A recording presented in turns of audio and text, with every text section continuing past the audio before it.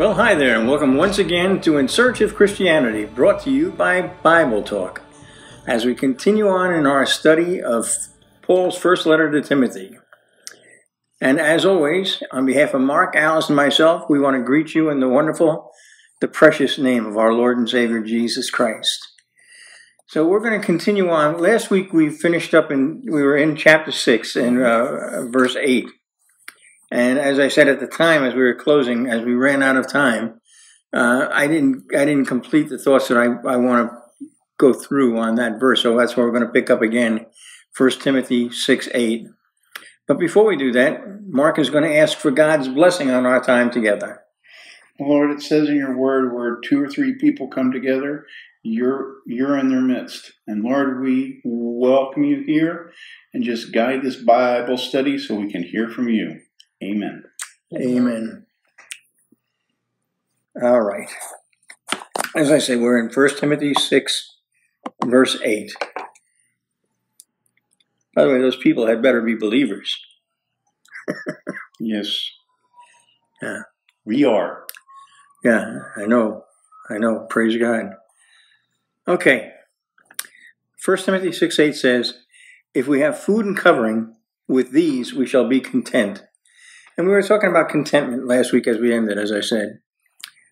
This is this is so incredibly, incredibly important. You know, Paul talked about learning contentment, learning to be content with whatever situation you find yourself. Because there is contentment is an incredibly, incredibly no, let me rephrase that. Discontent is an incredibly, incredibly powerful force. Okay? Mhm. If you're discontent, it will drive you to all kinds of things. Because the flesh, the flesh longs for contentment. The flesh will never find it No. because it'll always be just out of out of reach. It'll be out of, but it drives the flesh. When you're content, you're not driven by that at all. You're not driven by those things. You have peace. You have peace. Mhm. You have a, you often a peace that passes understanding. But if you're not content with what you have, whether we're talking about the possessions you have, the situations that you're in, you're gonna you're gonna be driven to try and change that. Mhm. If you are if you learn to be content, then you'll have peace. I, I It's an know, attitude, isn't it?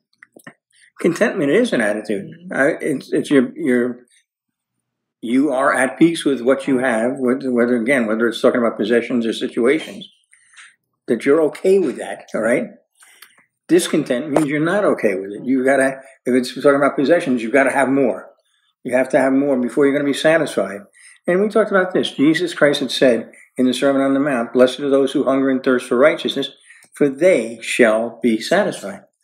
Satisfaction satisfaction and contentment go along together. If you're discontent, if you're dissatisfied, you're just going to be always struggling or striving Grumbling and, gr- and groaning and complaining to get what you don't have. Mhm. What don't you have? If you have food and covering, with these we shall be content. This is the inspired word of God. Right. It doesn't say if you have a brand new car, if you have a big house. It doesn't say if you have a great job. It just says if you have food and covering. If you have the basic needs of life met, those are the things that should bring contentment into your life. Why? Stuff shouldn't change your contentment level. No, it, it should not. No. Because you have an assurance Right. that your needs will be met. Right. All right? Contentment has to do with desire. Okay, what do you desire? I mean, if you desire the world and the things of the world, let me tell you first of all, because if you love the world and the things of the world, you have not the love of the Father within you. Right. But if it's the things of the world that you desire, you're going to be driven to try and get those things. If you are content in the Lord, you're not driven to go get those things because you know He'll provide what you need. Right. You don't have to strive. You don't have to struggle. You don't have to go through what uh, the world goes through because God will supply all of your needs. Psalm 73, verse 25, and I may paraphrase here, it says that all we should desire is the Lord.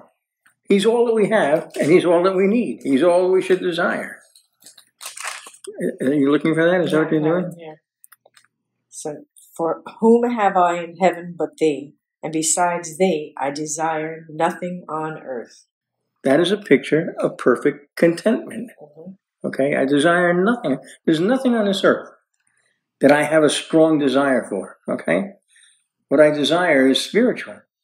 And the fact of the matter is, I can be content, I can be at peace, because God said He'll supply the things I need. He may not supply all the things that you desire if the things that you desire are the things of the world, because they'll do you harm. The desire for them will do you harm. Absolutely. Right? So, anything that you have beyond food and covering, the basic needs of life, is abundance. Right. Right? Abundance is simply having more than you need. Yes. It's abundance is not about having more than you you know that you want. It's about having more than you need. Uh, that, that's a basic lesson. I mean, I have to tell you, before I got saved, I I was always striving, always wanted more. I never had never had enough. I mean, I was one of the original yuppies. You know, had a great job in Manhattan as a consultant in New York City. We had a lovely home out in the suburbs. Had the cars. I mean, I had a luxury car. I had sports cars. But it's like there's always something not there.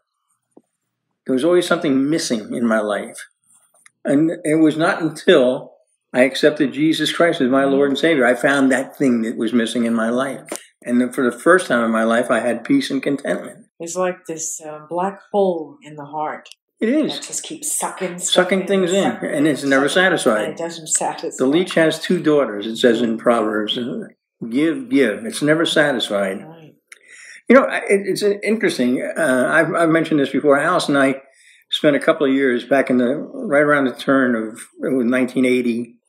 We spent a couple of years on the road traveling in a converted bus motorhome, just traveling wherever the Spirit of God led us.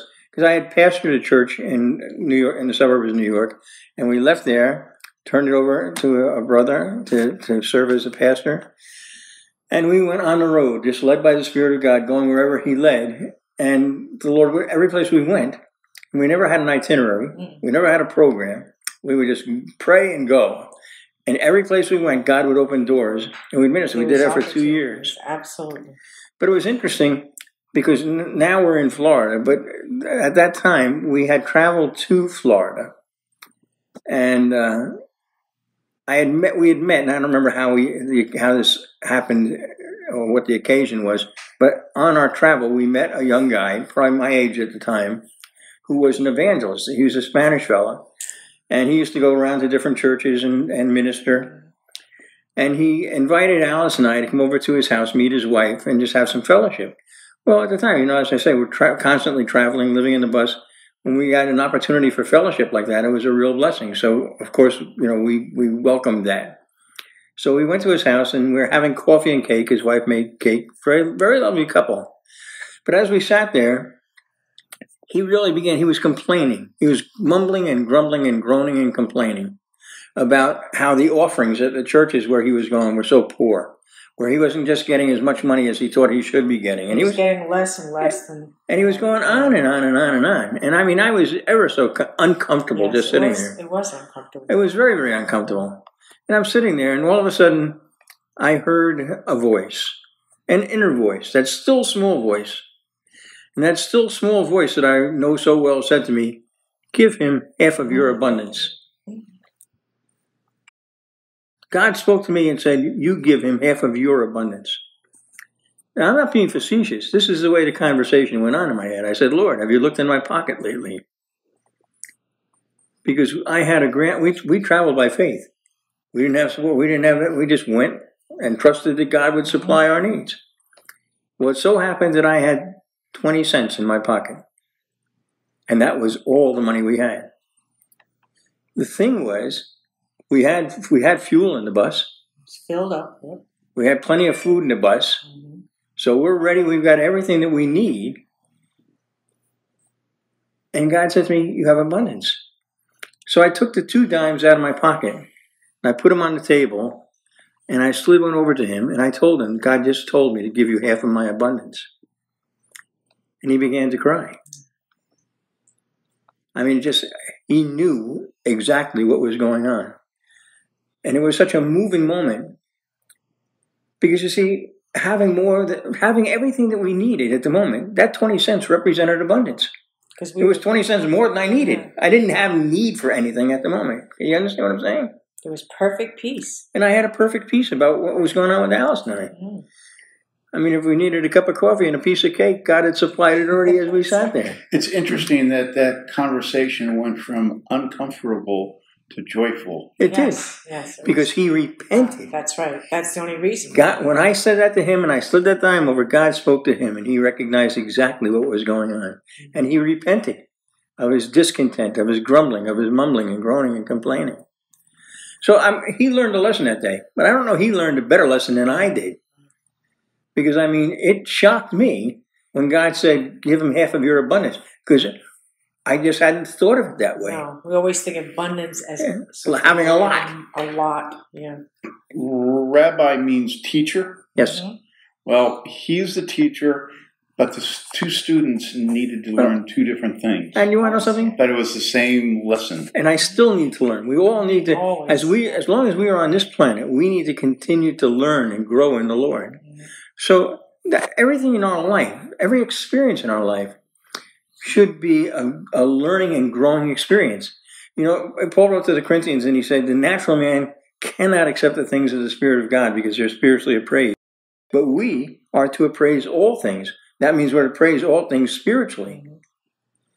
So when you start looking at everything in your life, all, all the events in your life, everything in your life, whether I'm talking about what's going on in your home, what's going on in your job, what's going on in the world around you, when you start to appraise those things spiritually, God will open your eyes to give you understanding.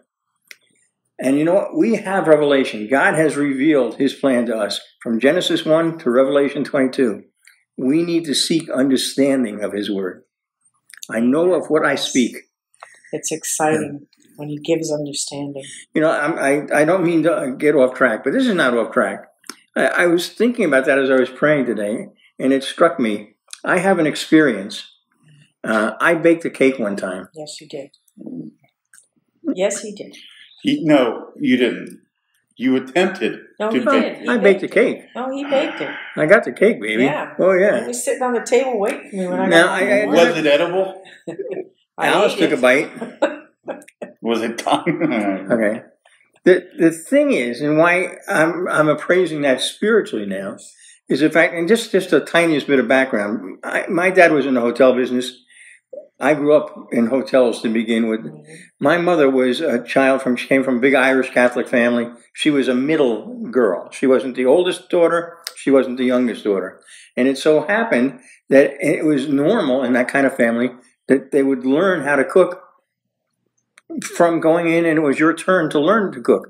Well, it's kinda skipped her. Yeah, she never. So my mother, as a young girl growing up, didn't learn how to cook. No. And she married my father. We lived in hotels and they ate in restaurants. They ate in a hotel So restaurant. didn't My to. mother didn't cook. Yeah, Then when she finally tried, well, it was disastrous. it was uh, yeah, it was it was a little bit of I Love Lucy show. Yeah, but that's So, that's- so you got that from her. so huh? I yeah I got that. That's my that's in my DNA from my mother. But I decided one day that I was going to bake a cake. I was going to bake a cake for Alice. She wasn't home. I was. So Alice th- at the time didn't, Didn't bake bake. either. She's a wonderful cook, but didn't bake. I didn't like baking, so I didn't. So do. I decided, and I went to the store. I went to the grocery store, and I'm going to go buy. I bought all the ingredients I needed. I bought a cake mix, and of course, we didn't have the, the baking utensils, the, the cake pan or anything. So I bought all of that. I bought a cake pan. I bought a good one, you know, with the space age plastic top on it, the whole mm-hmm. deal. And I went back and I figured I am a very literal person, which has served me well in the Word Yes. didn't necessarily serve me well that day because it started off and it said, you know, I took the cake mix and I put it in a thingy. Thingy is the, the technical term. And then it said, well, add two egg the whites. bowl. It said, add two egg whites. Now, I am not a stupid person No, you are not. and I am a very literal person. So I picked up an egg and there are three parts to an egg. There is the yellow part, the yolk.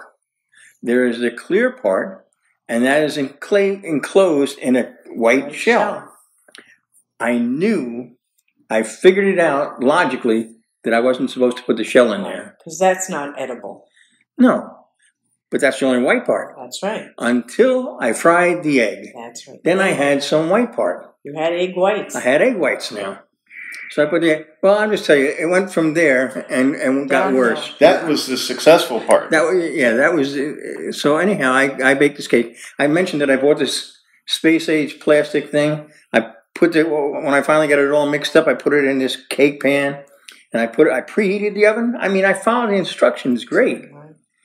I put it in. I preheated the oven. I put it in the oven. I put this plastic top on. Plastic melts Yes, it does. on heat. I thought it was space age plastic. It wouldn't melt. It melted. Yeah. It did. You thought it was oven proof. Yeah. I, I, I'm not going to. Well, you also made some substitutions. Well, I'm not going to go through the whole story, but I will tell you this: when Alice came home, I greeted her at the door, It was and, an accident. I said it was an accident. so, she, wonderful wife that she is, she actually tried a Yes, bite did. She tried a bit of it. The point that I want to make, though, is I followed the instructions to the best as I could, literally. yes. You can have knowledge without understanding and make a mess. Mm.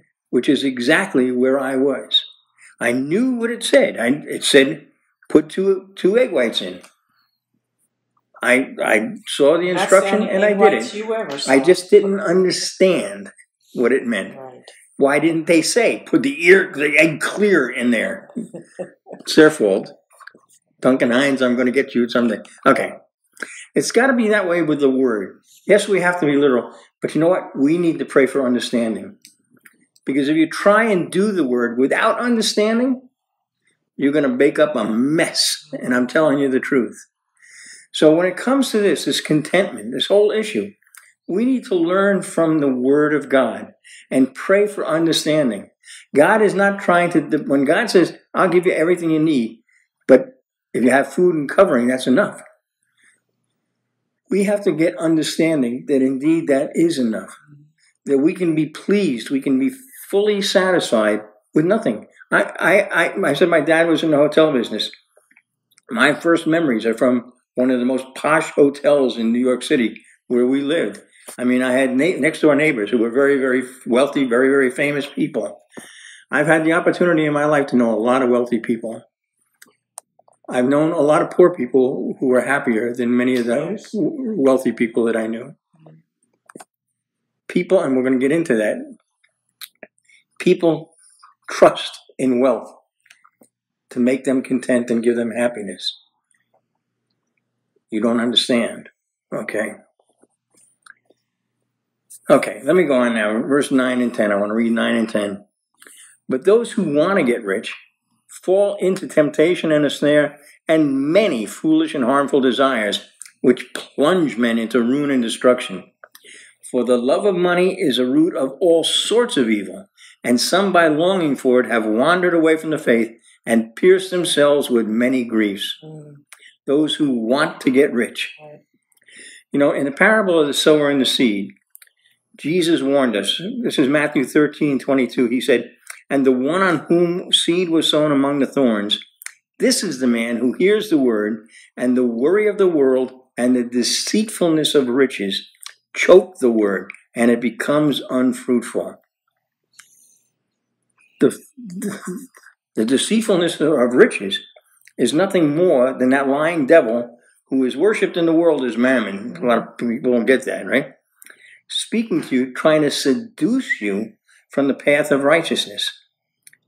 His desire is written for us to see.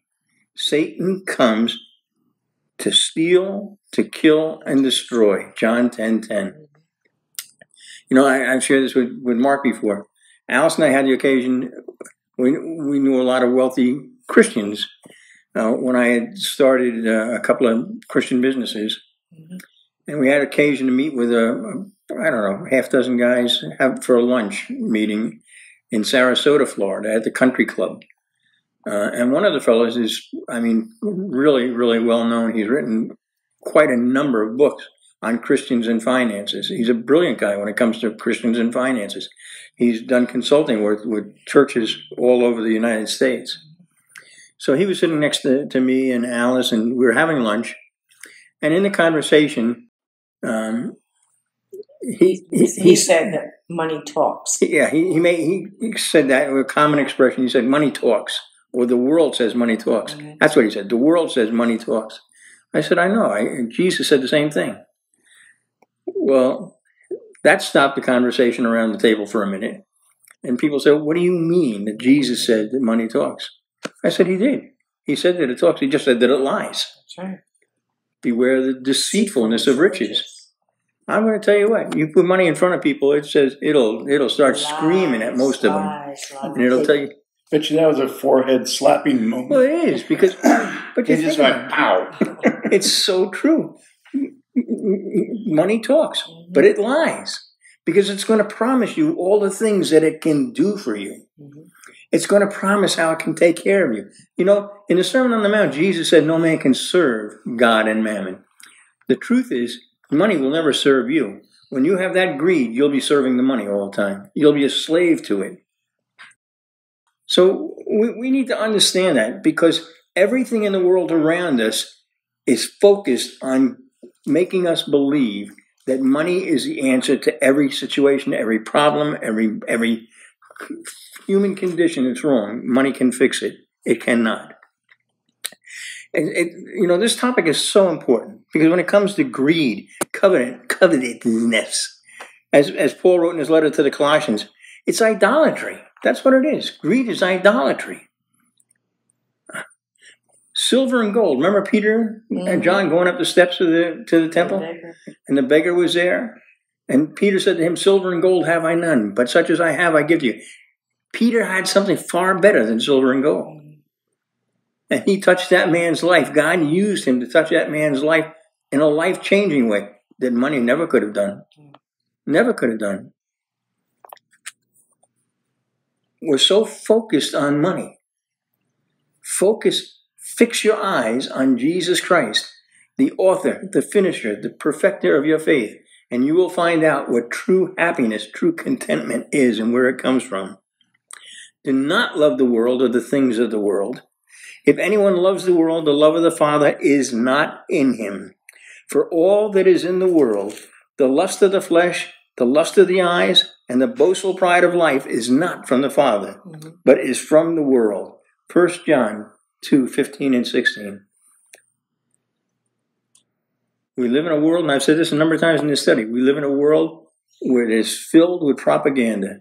Every time you turn on a radio, every time you turn on a television, every time you drive down the street and see a billboard, that is propaganda trying to incite you to desire, to desire that new car, to desire that. It's all about that, trying to stir that up in you. And they set out in the 1950s to do just this. They well, they they formalized it and they really perfected it. Now, I mean, this has been around a long time. Remember, Jesus in the wilderness Mhm. was tempted by the devil, Yes, he was. who was trying to tell him, you know, you can have all of this, or you can have all this, all the, these glories of the world. You can have that. Just bow down to me. It's been around a long time. But he has refined it throughout the time. He has, especially in his use against human people like us. All right?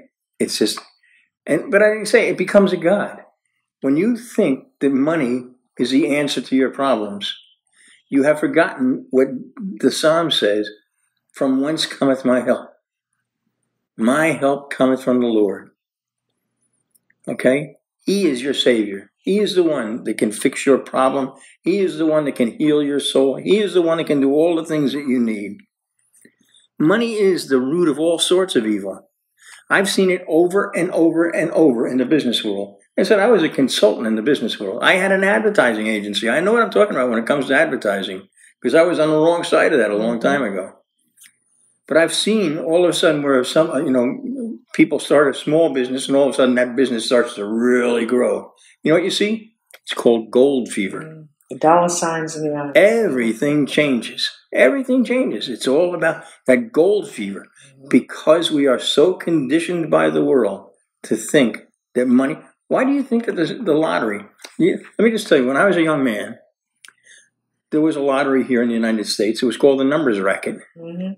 and it was Playing against the law. Yeah. All right.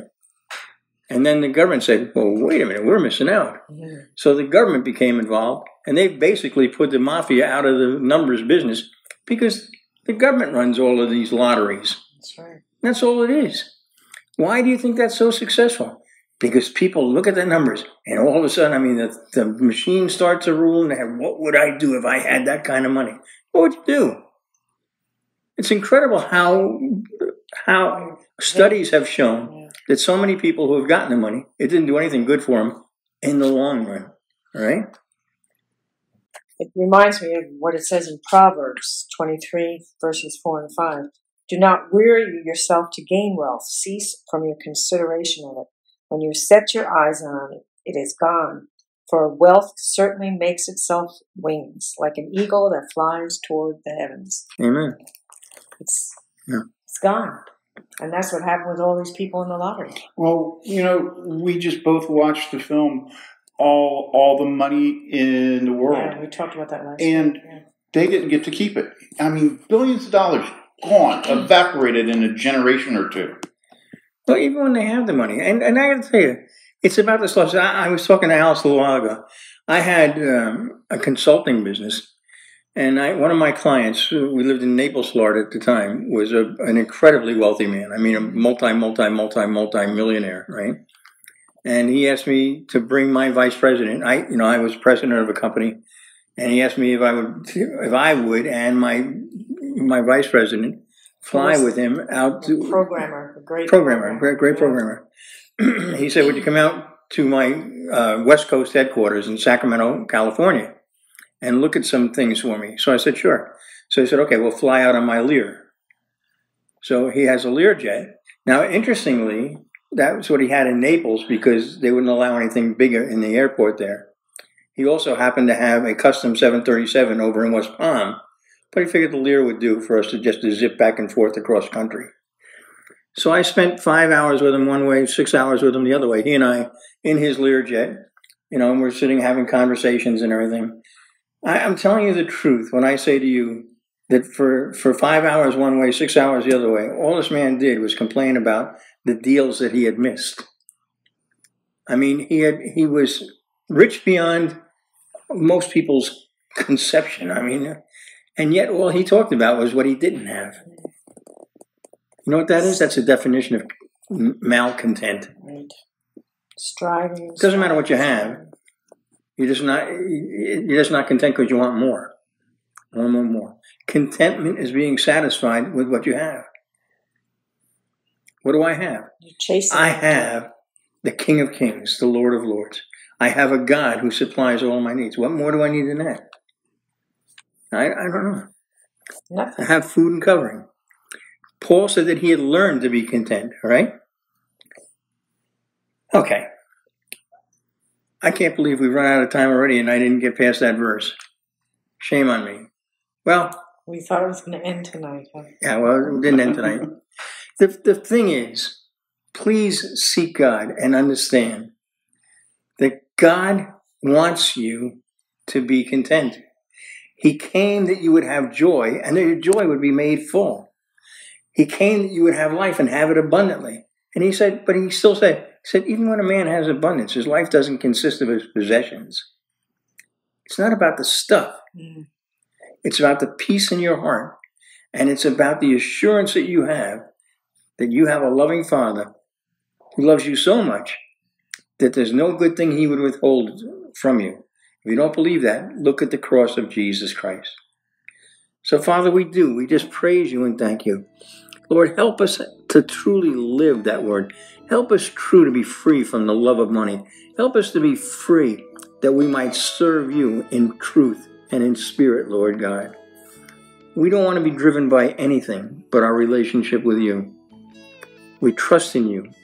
We trust in your word. We trust you, Father, because you have demonstrated your love in Jesus Christ.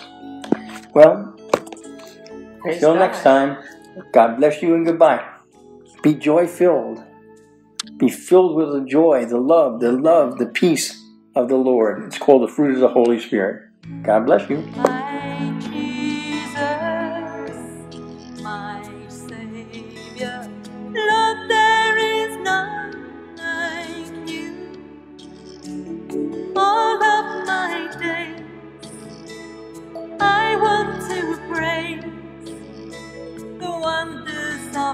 My.